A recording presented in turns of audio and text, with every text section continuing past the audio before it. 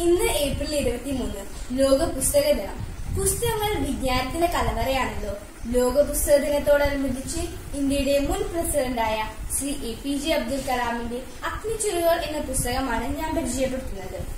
ഇരുപത് വർഷങ്ങൾക്ക് മുമ്പ് പ്രസിദ്ധീകരിച്ച അമ്പത് വർഷങ്ങൾക്ക് മുമ്പുള്ള ഒരു കാലഘട്ടത്തെ ആവിഷ്കരിക്കുന്ന ഒരു പുസ്തകത്തിന് ഇന്ന് എന്ത് പ്രസക്തി?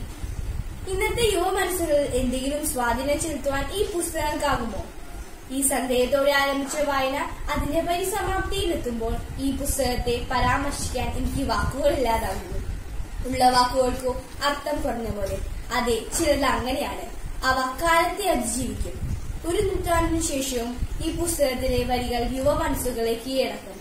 അവരെ ഉത്തേജിപ്പിക്കും. അവരുടെ സ്വപ്നങ്ങൾക്ക് അഗ്നിച്ചെറുകൾ നൽകും.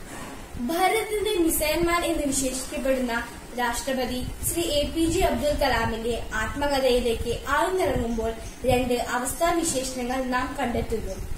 ഒന്ന് സ്വാതന്ത്ര്യലബ്ധിക്കു ശേഷം ബാലാരിഷ്ടതയിലൂടെ കടന്നുപോയ ഒരു രാജ്യം സാങ്കേതിക വിജ്ഞാനത്തിന്റെ നെറുകയിലേക്ക് സ്വയം പര്യാപ്തമായെന്ന്. രണ്ട് അറിയപ്പെടാത്ത ഒരു നാട്ടിൽ പിന്നോക്കം നിൽക്കുന്ന ഒരു സമൂഹാവസ്ഥയിൽ ജനിച്ചു വീണ ഒരു കുഞ്ഞ് ശാസ്ത്രലോകത്തിന്റെ വിഹായസിൽ തന്റേതായ ഒരു സിംഹാസനം ഉറപ്പിച്ച കഥ അല്ല ആത്മകഥ. പലപ്പോഴും പരാജയത്തിന്റെ പടുകുഴിയിലേക്ക് വീഴുമ്പോഴും നിരാശയുടെ ആഴങ്ങളിലേക്ക് നിപതിക്കുമ്പോഴും ഒരു ഫീനിക്സ് പക്ഷിയെ പോലെ പുനർജീവിതത്തിന് സാധ്യമാകത്തക്ക വിധം സുദൃഢമായൊരു ആത്മീയ അനുഭവത്തിന്റെ നിറവിലേക്ക് ഉയരുവാൻ അദ്ദേഹത്തിന് സാധ്യമായതിന്റെ വിവരണം തീർച്ചയായും അനേക മനസ്സുകൾക്ക് പ്രചോദനമാണ്.